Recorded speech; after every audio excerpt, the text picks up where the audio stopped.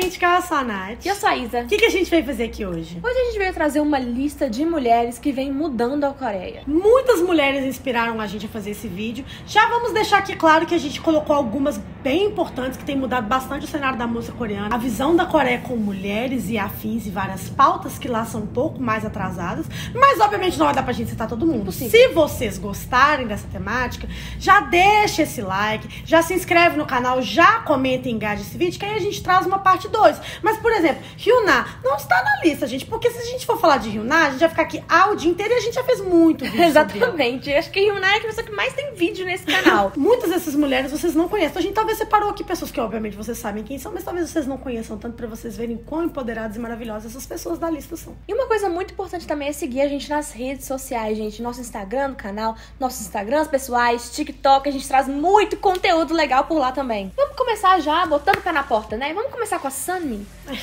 Basicamente, essa mulher dispensa apresentações. Ela debutou em 2007 com Wonder Girls. Ela é uma das solistas mais conhecidas da Coreia e atualmente ela vai ser jurada do Girls Planet 999, um novo reality show da Mnet. A gente inclusive tem perfil solo dela aqui, ó. Se você quiser conferir toda a carreira dela, a gente vai deixar o vídeo no card pra vocês. Cara, a gente sabe que na Coreia, saúde mental ainda é um tabu Não é enorme, não é discutido. A galera não fala sobre. São poucas pessoas que falam sobre isso, que né, apoiam essa discussão. E ela foi uma das primeiras pessoas a ser aberta sobre essas questões ao público. Ela falou sobre ter sido diagnosticada com transtorno de personalidade borderline durante uma participação no programa Running Girls da emissora Mnet. Durante o programa, ela falou um pouco também sobre o diagnóstico. E pra quem não sabe, esse transtorno ele é muito conhecido por instabilidade de humor. Instabilidade emocional, impulsividade, insegurança são uma das coisas que esse transtorno pode causar na pessoa. Constantemente ela advoga sobre diversas questões muito importantes, como saúde mental, machismo, homofobia, e a gente precisa de uma voz, principalmente uma voz tão grande quanto a dela, pra falar sobre esses assuntos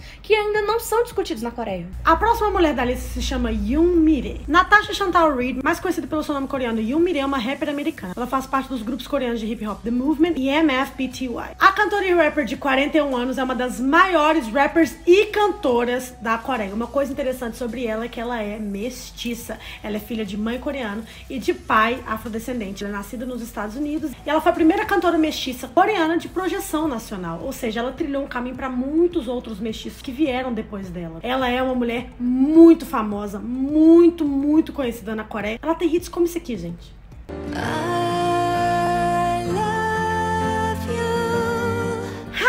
Das OSTs, não tem como você não ter ouvido essa Impossível. música. Literalmente todos os dramas maiores da Dramaland tem essa mulher aí fazendo OST pra ela. Pousando namoro, então um Class, Descendentes do Sol. Enfim, ela é o momento além de ser rapper. Ela é casada com o rapper coreano Tiger JK desde 2007 e o Tiger JK, outra curiosidade sobre esse power couple, é acreditado como um dos principais pioneiros para popularização do hip hop no mainstream coreano. Ou seja, gente, Power couple, né? duas pessoas super especiais juntas que fizeram muito pelos movimentos da música. Ela é uma mulher super especial, advoga super a favor das pessoas mestiças, POCs, People of Color, né, nos Estados Unidos. Gente, sério, ela é tudo. Uma outra mulher que a gente precisa falar aqui é a Huri. Kim Hyun-jung, nascida em 10 de fevereiro de 90, mais conhecida pelo nome artístico Huri, é uma cantora e compositora sul-coreana.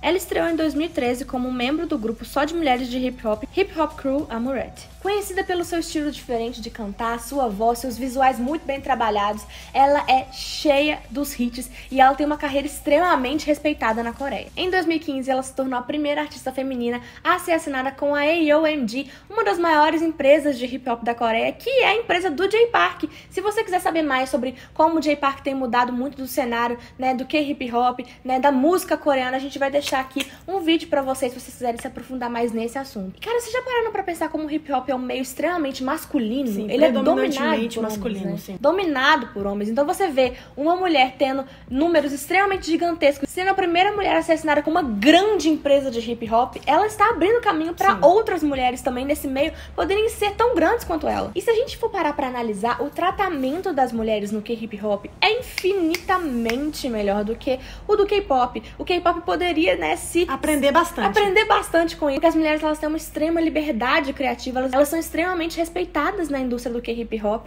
e a Rudy tem muita participação nisso. Sim, ela tem, tipo assim, as mulheres no K-hip hop têm realmente, tipo, voz. Aham. Entendeu? Quando elas chegam lá. Então, mesmo sendo um campo predominantemente machista e muito masculino, quando elas chegam lá, é uma coisa que o K-pop poderia aprender muito em como tratar mulheres. Uma mulher também que a gente não poderia deixar de fora dessa lista é a Mirani. Ela ficou conhecida principalmente por fazer parte do Show Me The Money 9.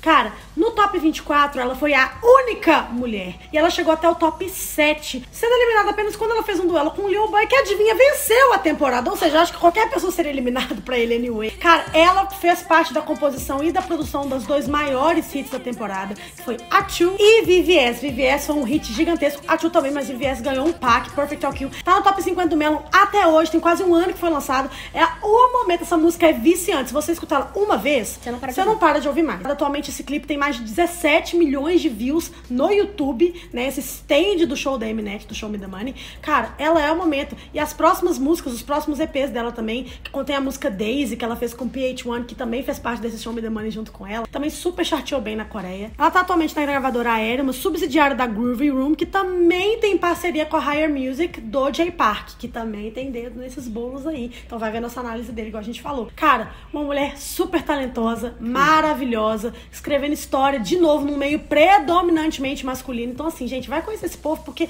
elas estão. Elas, É o seu momento. Tem como trazer um vídeo de mulheres empoderadas e não falar de Jessie? Não, impossível. É impossível, né? É outra que dispensa comentários. A carreira né? dela fala por si, né? Jessica O, mais conhecida pelo seu nome artístico Jessie, é uma rapper e ex-membro do grupo de hip hop Lucky J sobre a YMC Entertainment. Ela nasceu em Nova York, cresceu em Nova Jersey e se mudou para a Coreia do Sul aos 15 anos de idade. Com uma carreira de quase duas décadas, essa mulher já marcou a história. Ela tem diversas músicas, diversos hits, mas ano passado foi o maior ano da sua carreira, com certeza. Ela lançou um dos maiores hits do ano passado. Esse ano conseguiu trazer outro hit para sua carreira. Então, assim, ela não tá indo a lugar nenhum mesmo com quase duas décadas de carreira. Ela também é uma grande personalidade da mídia, ela tá sempre em vários programas de variedade, sendo que ela tem um show próprio, o Show Interview. Ela é apresentadora desse show no YouTube, onde ela entrevista diversos artistas muito famosos na Coreia. Ela é dona de um dos maiores bordões da história. We're not a team. This is a competition. Cara, ela é uma pessoa que nunca deitou pros padrões, tanto de estética quanto de como uma mulher deve agir na Coreia. E ela mesmo assim consegue ser amada na Coreia, não só tendo hits na música, mas a galera do sofá Sim. ama ela. A Dilmas gostam dela, a Juxis gostam dela. Sim. Ela é descrita como a Nora perfeita, aquela mulher que fala o que pensa, é desbocada, é pra frente, nunca se adequou a padrão nenhum. Tipo assim, cara, eu acho que sutilmente a militância dela é essa, é mostrar quem ela é na TV todos os dias as pessoas e as pessoas entenderem que não tem só um tipo de feminilidade, só um tipo de comportamento que uma mulher deve seguir. Exatamente, que as mulheres podem ser quem elas são e quem elas quiserem ser sem medo da represália da sociedade. Cara, todo mundo que conhece ela é apaixonado por ela. Os artistas, as pessoas que assistem ela apresentando, assistem ela falando. Ela é uma mulher que aos poucos vem mudando essa visão coreana de como uma mulher deve ser.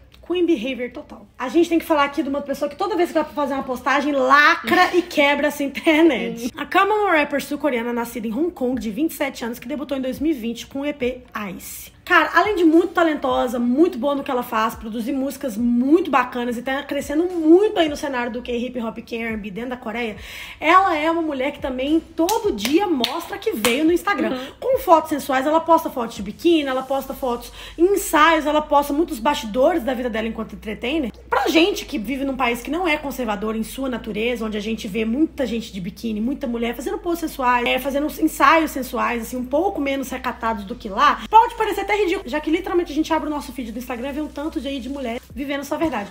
Mas lá na Coreia, isso é um tabuzão. Então, Sim. uma mulher que tá lá todo dia, dando as cara tapa, vivendo a verdade dela, mostrando que jovens são assim, normais, São jovens. tudo bem, você não deixa de ser uma grande pessoa, uma grande mulher, ou perder o seu valor só porque você postou uma foto de biquíni, uma foto mostrou sua barriga, uma foto de cro... sabe? Então é muito interessante a gente ter essas vozes na Coreia pra gente normalizar isso, porque no off todo mundo pensa assim, mas no on ninguém pode ser assim. Então a gente tem mulheres como ela, só olha, mulheres fazendo tudo, gente. Ai, eu amo. Precisamos falar sobre Yes. Mm-hmm. A gente podia ficar aqui horas e horas e horas e horas falando da Macne do Mamamoo, do quanto que ela muda nessa indústria, a sua voz, seu estilo, sua aparência, seu jeito de ser, como ela se apresenta, tudo que ela faz, ela já está quebrando alguma coisa, ela já está quebrando algum tabu, ela já está mudando a Coreia. Porque ela está todos os dias quebrando um padrão que foi instaurado desde sempre na Coreia. Sim. Ela quebra esse padrão todos os dias, mostrando uma mulher extremamente empoderada, extremamente necessária na indústria da música, principalmente sul-coreana. Sabe, ela é um dos seres mais especiais que a gente já pôde com conhecer. Certeza. A gente já teve, né, a oportunidade de entrar em contato com a arte dela, né, com o que ela representa, e a gente só tem coisas incríveis para dizer para essa mulher que, olha, realmente ela disse que ia criar um novo padrão e criou. A única palavra que me vem na cabeça quando eu penso nela é necessária. Ela é necessária para tudo ser melhor. Sim. Outra pessoa extremamente necessária é a Ciel conhecida amplamente na indústria do showbiz como a asiática mais influente da história.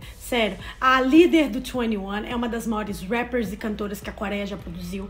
Ela tem uma presença de palco que não conhece rivais. O que a Ciel faz no palco, o que ela apresenta pra gente, a qualidade do que ela impõe, a qualidade do que ela nos apresenta na sua música, na sua arte, ali num show ao vivo, de verdade, é um acontecimento poder ver a Ciel no palco. E ela é amplamente querida em todos os lugares que ela passa. Ela é amiga das maiores celebridades do mundo, ela é amiga dos maiores produtores do mundo, ela é amiga dos maiores estilistas do mundo. E uma mulher tão especial, tão talentosa, que faz sucesso na Coreia até hoje, mesmo tendo ficado durante tantos anos no porão da YG, com aquele contrato escroto que ela era submetida depois que ela foi assinada de uma forma totalmente. Olha, a história da Cell é uma história que se a gente. A 21, como todos, uhum. se a uhum. gente fala demais, a gente começa a chorar. Mas mesmo no começo da carreira, sendo literalmente chamada da idol mais feia que já debutou, ela estabeleceu um novo padrão de beleza, ela estabeleceu um look que é só dela, ela sempre quebrou padrões, ela sempre quebrou paradigma e foi amplamente conhecida, reconhecida e é bem sucedida nisso. Ela é uma mulher que só dela existir, todo dia também ela faz uma coisinha, coloca um tijolinho a mais uhum. pra gente chegar onde a gente tem que chegar, sabe? Perfeita. E como esquecer da Soyeon, do G-Idol, né, gente? A sucessora natural da Ciel Sim. nesse quesito. Quando a gente pensa em liberdade criativa, em quem que a gente pensa? Na Soyeon, é óbvio. Quando a gente fala assim, qual que é a idol feminina que mais tem liberdade criativa na história do K-pop? Qual que é a primeira que vem na sua cabeça? A Soyeon né? Então, assim, ela é uma das maiores líderes do K-pop e ela Sim. acabou de debutar, sabe? Ela é uma ontem, ela idol ontem. da quarta geração e ela já é referência. Ela é orgulhosa do que ela é. Ela é ótima líder. Sim. Sempre trilha caminhos que as pessoas seguem com muito prazer. É uma das maiores produtoras que a Coreia tem. Ela só tem 22 anos.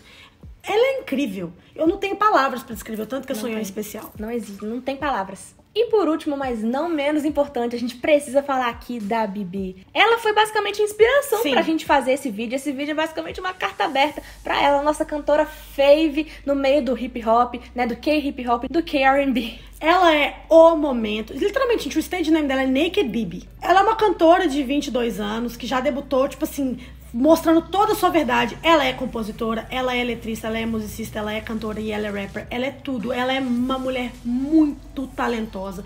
É, os clipes dela, né, os MVs dela, tem milhões e milhões de views. Todos os MVs dela parecem mini filmes. Todo o lado artístico que ela coloca, todo o imprint artístico que ela coloca em cada um dos seus trabalhos é absurdo. Ela é uma pessoa que sempre, desde que ela debutou, ela fala sobre coisas extremamente naturais do mundo, Sim. né? Naturais de jovens, como sexo, suas experiências, suas vivências, mostrando que jovens são o quê?